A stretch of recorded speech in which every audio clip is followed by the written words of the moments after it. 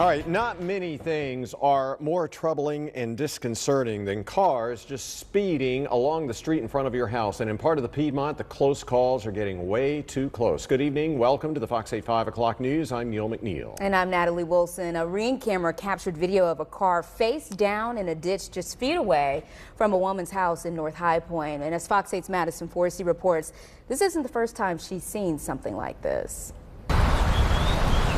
Teresa Corwin wanted two things when she moved to High Point. So I wanted a rocking chair porch and be less than two miles from a hospital. She got her wish and something else too. I love to sit out here and watch cars go by, but you know, not at 45, 50 miles an hour and running stop signs. It's just it's just scary to me. She hears cars flying through the intersection of Ingleside Drive and Westover Drive every day. Wednesday, our cameras caught several drivers rolling through stop signs in hitting speeds of almost 50 miles an hour in a 35 mile per hour zone. But you can't assume now that when you come to a stop and you look both ways that you can go because the person to your left or the person to your right may not stop at all.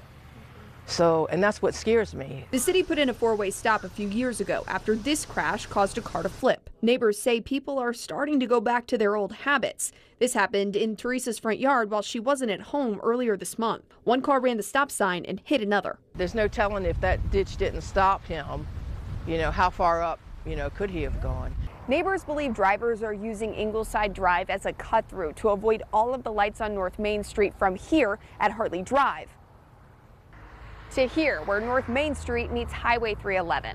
Teresa and her neighbors want to see a flashing stop sign or anything to make people think twice. 90% are people who want to cut through, which I say is it's fine. You know, that's fine, but it just scares me. I wish just people would be more cautious. Madison Forsey. Just pray that, you know, nobody gets hurt.